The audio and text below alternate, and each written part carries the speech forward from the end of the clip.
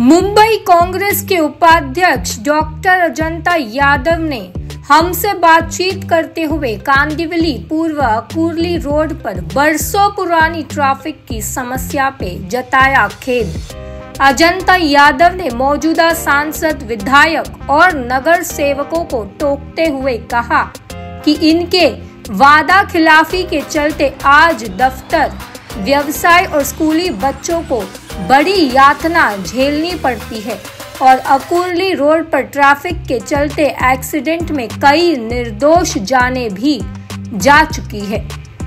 मैं आपको ये बताना चाहूँगी कांदिवली ईस्ट की सबसे बड़ी समस्या ट्रैफ़िक है। ट्रैफ़िक कंजेशन इतनी ज़्यादा है कि लोग अपनी जगहों पे या अपने काम पे या अपने स्कूल या कॉलेजेस में जो बच्चे, जो यंग कैडर जाता है, वो पहुँच ही नहीं पाते हैं अपने समय पे पहुँच नहीं पाते और ज़्यादा ज़्यादा तकलीफ़ जो सीनियर सिटीजन हैं, उनको होती है और जो महिलाएँ हैं, जो महिलाएँ ट्रैवल करती हैं अपने जॉब्स के लिए चर्च गेट की तरफ़ या फिर नाला सुपारा की तरफ़, ये ये जो महिलाएँ हैं, इनको आने जाने में बड़ी परेशानी होती है।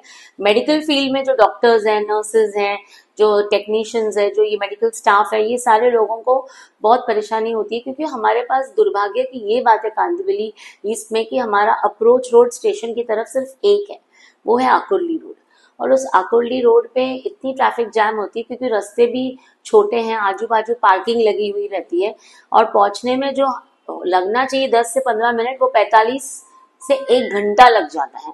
तो ये जो समस्या है, ये हमारे जो स्थानिक आमदार हैं ये आमदार तो जीत के आए बड़ी बड़ी बातें की उन्होंने बड़े बड़े वादे रखे, लेकिन किस कोई भी काम नहीं हो पाया है। उन्होंने इस पूरे ट्रैफ़िक को ट्रैफ़िक कंजेशन को कम करने के लिए जो इन्होंने काम किया है, वो टोटल फेलियर है मतलब काम ही नहीं हुआ है। एक कांदिवली सब्बे को अगर आप देख लेते हो तो तीन चार साल से ये काम चालू है। हमारा कोस्टल रोड बन गया। हमारी बाकी के जगह पे जो हाईवे पे जो रोड्स बनने वाले हैं या कनेक्टिविटी बन रही है, वो बन चुकी है, लेकिन हमारे कांदवली सब्वे का काम नहीं हुआ है। वो आप देखते हो कि वो बॉटल नेक है। जैसे ट्रैफ़िक मूव करती है आके सब्वे के नीचे रुक जाती है। और उसके बाद घंटों लोगों को वहाँ खड़ा रहना पड़ता है। मैं खुद कई बार अपनी गाड़ी को छोड़ के स्टेशन ट्रेन पकड़ने के लिए मुझे पैदल या भाग के जाना पड़ता है। तो ये समस्या बहुत सिवियर है। और इसमें मैं तो ये कहूँगी कि जो हमारे स्थानीय आमदार है अतुल भातरकर जी और जो जो भाजपा सरकार है, जो बड़े बड़े सपने दिखाई है लोगों को कि हम ये करेंगे, वो करेंगे, लेकिन इसमें टोटली उनकी सपने जो है लोगों को दिखा के उन्होंने लोगों को बिल्कुल एक गलत जगह पहुँचा दिया, बहुत तकलीफ़ में डाल दिया है। खासकर महिलाओं पे इतनी स्ट्रेस हो जाती है, लोग जब बीमार होती है महिलाएँ, या जब एक कार्डियक प्रॉब्लम आ जाता है किसी को या स्टोमिक हार्ट डिज़ीज़ जैसे कि कोई अटैक आ रहा हो मायोकार्डियल इन्फाक्ट आ रहा हो तो हमारे पास यहाँ से लेके अगर हम के एम नायर साइन पहुँचाने के लिए एंबुलेंस अगर निकालते हैं तो वो भी हम सक्सेस नहीं होते पेशेंट की जान रास्ते में चली जाती है। अभी कई फायर लग जाती है तो फायर ब्रिगेड को आने के लिए इतना समय लग जाता है। जो जो जहाँ पे फायर लगी है, वहाँ पे लोगों का नुकसान भी हो जाता है और काफ़ी लोगों की वहाँ पे डेथ भी हो जाती है।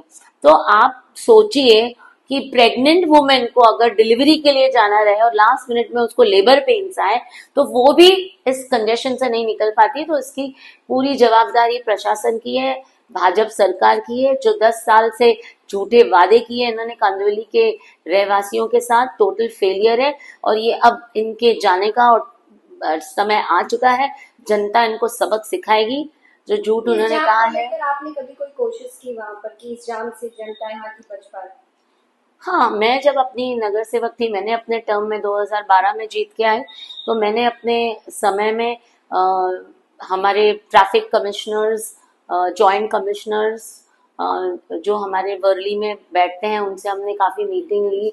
डेप्यूटी कमिश्नर पुलिस से भी ट्रैफ़िक पुलिस से बात की उनसे जॉइंट मीटिंग्स हमने काफ़ी ली और एक ही का निर्णय हुआ था कि अगर हमको ट्रैफ़िक से कुछ सोल्यूशन चाहिए तो वन अनदर एक्सेस रोड चाहिए। जिस, जिसका काम मैंने 2012 से शुरू किया 2014-15 में मैंने वो रोड लोगों के लिए महेंद्र महेंद्र कंपनी से बीएमसी को हैंडओवर दिलवाया, जो अभी भी वहाँ पे मौजूद है, उसका फंड हम लेके आए।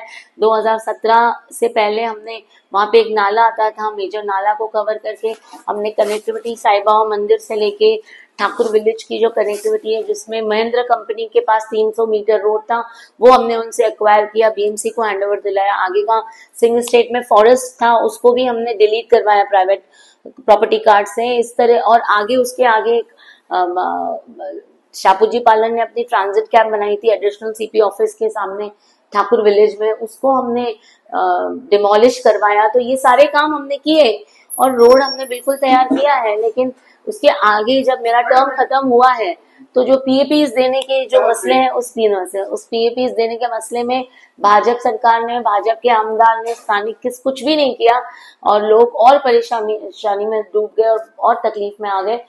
लोखन वाला मेरे समय हमने इतने सारे गार्डन डेवलप किए काफ़ी अच्छे रोड अंदर भी बनाए। सीसी रोड 120 फीट रोड बनाया जो डीपी रोड पे जाता है 60 फीट पर सीसी रोड बनाया। इंटरनल रोड्स के पूरे नूतनीकरण किए लेकिन उसके बाद कोई भी एक रोड नहीं हुआ है। तो ये भाजपा सरकार की जो जुमलेबाजी है, ये अब और चलेगी नहीं और जनता उनको अपना सबक स्वरूप सिखाएगी।